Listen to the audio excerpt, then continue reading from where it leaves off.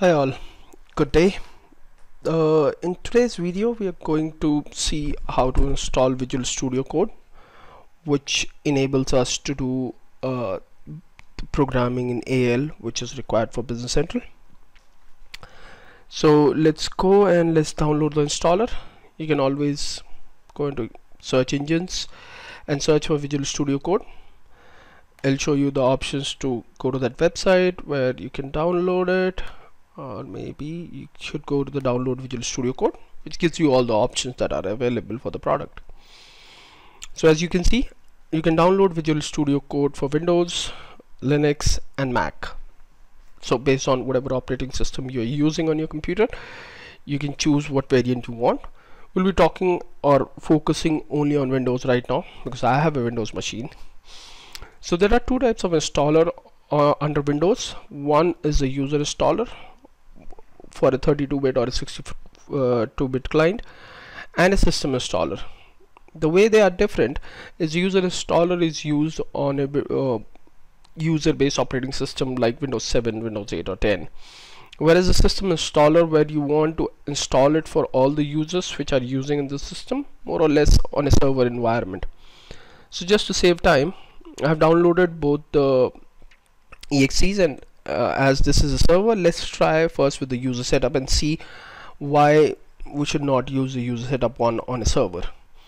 So as you run the setup you get this warning which says that the user installer is not meant to be run as administrator. If you install VS Code for want to install VS Code that can be accessed by all the users who can access the server then you should download the system installer instead of the uh, user installer so even if you want to say yes it will continue and that's the area that you'll understand why we should not use it. So if you see it's downloading or installing the Visual Studio Code into my local folder. And that means that other users who are using the server will not be able to access VS Code. So you should always choose for a server environment the system installer where it's a shared environment where other people can remote in and do work. Whereas if it's only for your machine then you can use a user installer. So as it is a server I'll using the server one. The installation steps remains more or less same. So that's not to worry. You'll accept the license agreement. Uh, it'll by default point to your C program files. Uh, you'll get it a name now here are some options which people miss and click next and that's very important. You want or you don't based on your need you can choose to have a desktop icon.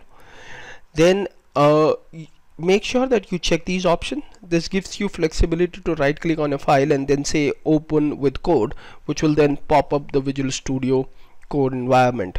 So if you have a AL file you don't actually have to click on the shortcut and then navigate to that folder to open it or even if a text file you want to uh, open it into VS Code you can just right click it and open it.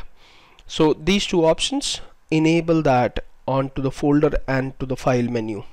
On your right click options like this you will see when you click on a file you will see a open with option when you enable this. And we'll see that in a bit. Then you click next more or less uh, rest is a standard and we'll install it. This will get installed pretty easily and then we'll see what else we need to be installing to start programming against a business central environment.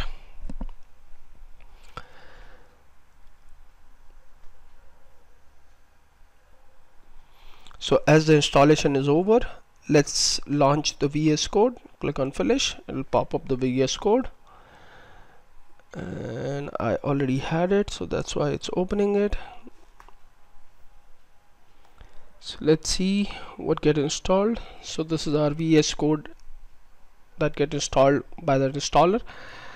And let's see about those options which I was talking about. So when you click on a right click on a file it gives you this option to open with code. Or even for a folder it gives you an option to open with code code. So that will pop up your uh, VS code and you don't have to open it and then navigate to the folder where you want to go. You can directly do it from the menu where you are in the Windows. So the bare minimum requirement to start coding for Business Central is you need to add an extension in VS Code. And when I say word extension uh, don't relate it to extension to Business Central. Extension is a generic term which uh, consider extension as adding more power to one existing tool. So Visual Studio Code is not only built for doing development for Business Central. It is flexible. You can uh, choose what programming language you want to use. Uh, there are multiple options that we'll see. And based on that you can train your VS code that what you want to code against and it'll it'll, it'll configure it based on your requirement so using this menu and we can talk about other options later you can choose this last option called extension. And as I said extension is a generic term which extends the functionality of of any software. So in this case we are trying to use VS Code for AL programming. So we need to make sure that we teach our VS Code that we want to use U for AL programming. So for that there is an extension for VS Code called AL language that comes from Microsoft. This version may differ based on when you are looking at this video and when you are trying to install. This gets updated all the time from Microsoft. And you choose install as this extension for AL language get installed.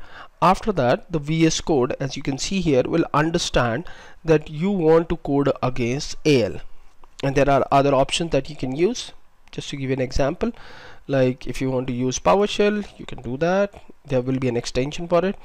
Or you want to use uh, write SQL queries. So there will be a SQL uh, server MS SQL or if you want to use it for Java there will be an extension for for that.